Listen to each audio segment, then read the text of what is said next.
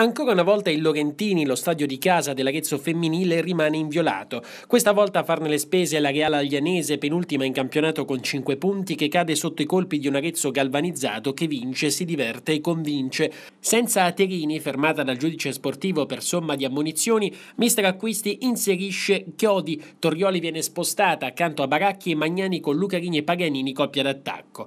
Nota curiosa, la Reale Aglianese si presenta e gioca tutta la partita con 10 atlete partendo di fatto fatto già in inferiorità numerica. Nemmeno il tempo di controllare il cronometro e l'Arezzo passa in vantaggio. Cross dalla destra raccolta da Paganini che calcia a botta sicura. Faillacci riesce a respingere la prima conclusione, ma nulla può sulla ribattuta della stessa numero 7 Amaranto all'ottavo centro stagionale. Al minuto 13 raddoppio dell'Arezzo con Baracchi, abile a sfruttare un corner battuto da Paganini, senza marcature riesce a staccare di testa e a indirizzare la palla in rete. Nemmeno il tempo di respirare l'Arezzo chiude l'incontro grazie alla tredicesima rete stagionale di Capitan Lucarini al minuto 19. Dieci minuti dopo Baracchi sigla la propria doppietta personale, dribbling su due avversari e destro chirurgico da fuori aria. Quando siamo giunti al trentesimo del primo tempo, il risultato è già 4-0 per la squadra di casa.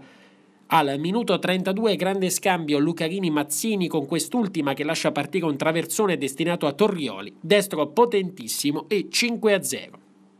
Il primo tempo si chiude con l'Arezzo che domina letteralmente il lungo e largo, possesso palla e finalizzazione, mentre la Real Aglianese non riesce a trovare serenità nelle proprie giocate i troppi errori difensivi lasciano enormi spazi alle padrone di casa.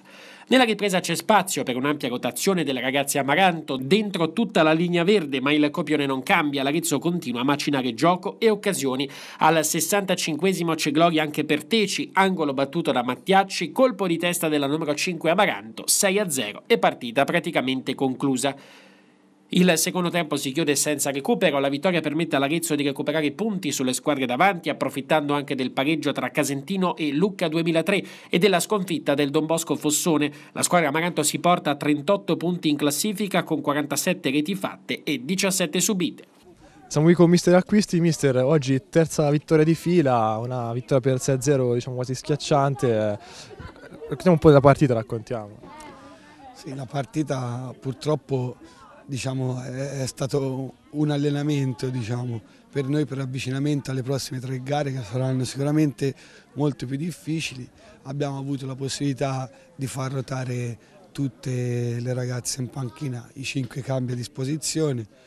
Volevo sottolineare magari il fatto che stiamo giocando veramente, stiamo facendo fare tantissima esperienza a queste ragazze giovani, del 2000, 99, tantissime ragazze de, del settore giovanile e questo è un buon viatico per il futuro, è quello, la nota positiva di oggi, oltre al risultato che vabbè eh, fa sempre piacere vincere, però diciamo che io vorrei sottolineare più che altro questo. Magari ecco, oltre che uno sguardo al futuro, anche una rotazione, contando che domenica prossima ci sarà, insomma, si andrà a giocare a Lucca. Sì, infatti è proprio il segnale che ho voluto dare che secondo me insomma, bisogna giocare palla su palla e credo che chi si deve conquistare il posto deve sfruttare ogni occasione che gli viene data, ogni minuto per provare a convincere il mister e, eh, e, e poi per avere più, più frecce al proprio arco. Insomma.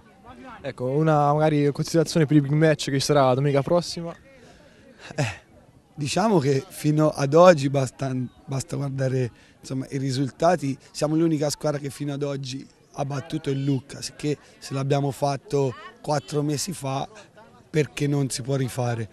Io credo che stiamo crescendo, Oggi sinceramente non sono proprio soddisfatto del gioco espresso, avevo chiesto qualcosa di più alla squadra proprio in preparazione.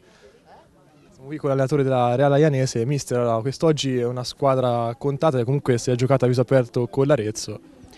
Sì, noi eh, oggi non si è avuto fortuna eh, per un discorso, per un numero corto che ci siamo presentati, all'ultimo momento c'è stata un'influenza di qualche ragazza, anche con questo che non siamo un grande numero. Poi i giovanissimi oggi ci, hanno giocato anche loro di, di, mattina, non si è potuto attingere per portare altri tre ragazzi di cui, di cui avevano l'età per poter venire a giocare in prima squadra. E quindi niente, ci è andata così, l'atteggiamento del primo tempo è stato sbagliato da parte nostra perché si è, si è fatto fare tutto facile, diciamo, e non si poteva subire tutti questi gol. Perde la partita sì, ma non con tutta questa, questa differenza qui. Secondo tempo un po' un atteggiamento migliore, più attenti, più che altro ci è mancato quel modo lì di stare attenti e di avere un atteggiamento grintoso e determinato con quando si subisce si deve tirare fuori il carattere e questo ci è mancato.